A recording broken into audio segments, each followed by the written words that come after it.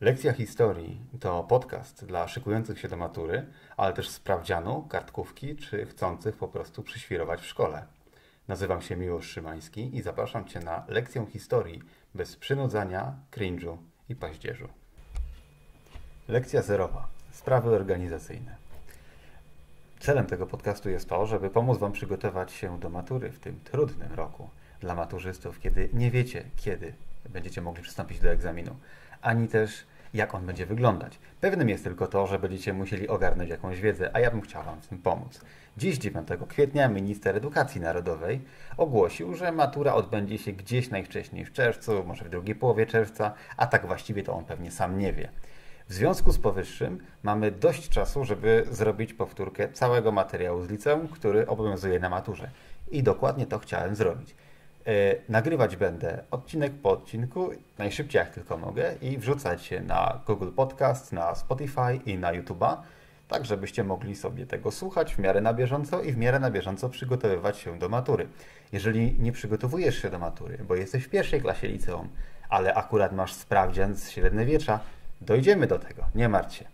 W każdym razie, trzy tygodnie przed maturą minister powiedział, że ogłosi termin tej matury. Jak tylko to zrobi, to zabierzemy się za przerabianie arkuszy maturalnych, które pomogę Wam zrobić, a Wy będziecie mogli sobie tego słuchać w tramwaju, na spacerze, leżąc w wieży albo przeglądając Face'a.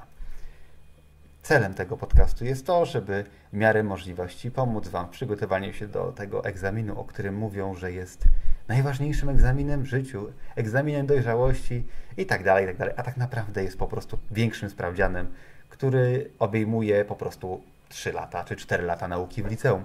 Tak naprawdę, jeżeli ktoś uczył się przez całe liceum, to nie jest to wielki problem. Ale jeżeli nie uczyłeś się przez całe liceum, ale wysłuchasz wszystkich moich podcastów, to jest spora szansa, że jak ja dam z siebie solidne 30%, to i ty będziesz mieć solidne 30% na egzaminie. Jeżeli chcesz mieć więcej, to serdecznie polecam. Yy, zainspiruj się moim podcastem i szukaj sam wiedzy gdzieś indziej, w książkach, na dobrych stronach w internecie. Zapytaj nauczycieli, idź do biblioteki. Oczywiście na razie nie możesz zapytać nauczycieli bezpośrednio ani pójść do biblioteki. Jesteś skazany na internet i książki. Czytanie książek na dłuższą metę może być trudne, jeżeli nie są napisane w interesujący sposób, a podręczniki z reguły nie są.